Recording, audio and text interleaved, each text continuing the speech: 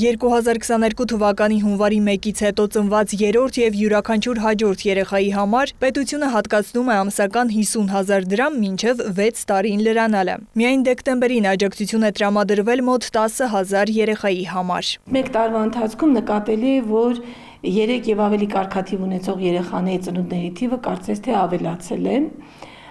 Դա վկայում է նաեւ երեխայի ծննդյան միանավակ նպաստի համար դիմումների վերլուծությամբ Ավելի ծավալուն վերլուծությունների համար դեռ ժամանակը կարճ է։ Ծնելիության աճին միտված այս ծրագիրը դեռ փորձնական փուլում է, նախատեսվում է իրականացնել մինչև 2025-ի դեկտեմբերի 31-ը ծնված երեխաների համար։ Արդյունքներն ամփոփելուց հետո կքննարկեն շարունակականության հարցը։ Ծրագրի բարելավման նպատակով փոփոխություններ են արվել ծնողին հնարավորություն ենք տվել փոխելու բանկը։ Եվ ընդհանրեն ծնողն իր ընտրությամբ մի որևէ բանկ ընտրել է։ Հիմի Նույնիսկ ընտրությամբ ցանկանում է փոխել բանկը, կարող է գուցե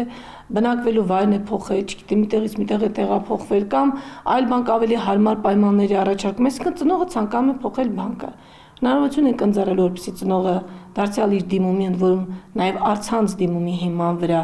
փոխի վճարող կազմակերպությունը տվյալ դեպքում բանկը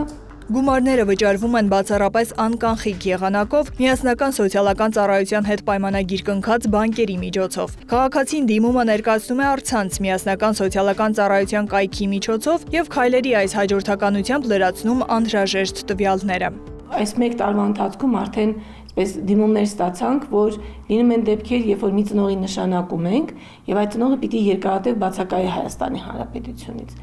Այս դեպքում հնարավորություն ենք ընձեռել, որպիսի մյուս ծնողի նշանակվի եւ վճարվի դրամական աջակցությունը։ Մեխանիզմը շատ པարզ է։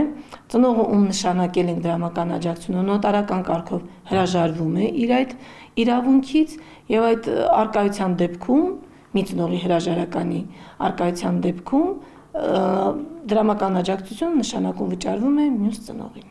Եթե իհարկե նա ունի այդ իրավունքը։ Եթե մյուս ծնողը գրավոր դիմի 6 ամսվա ընթացքում, ապա վճարումը կվերսկսվի ստանալու իրավունքը դադարեցնելու օրվանից, իսկ այդ ժամկետից հետո դիմելու դեպքում դիմելու ամսվան հաջորդող ամսվա 1-ից։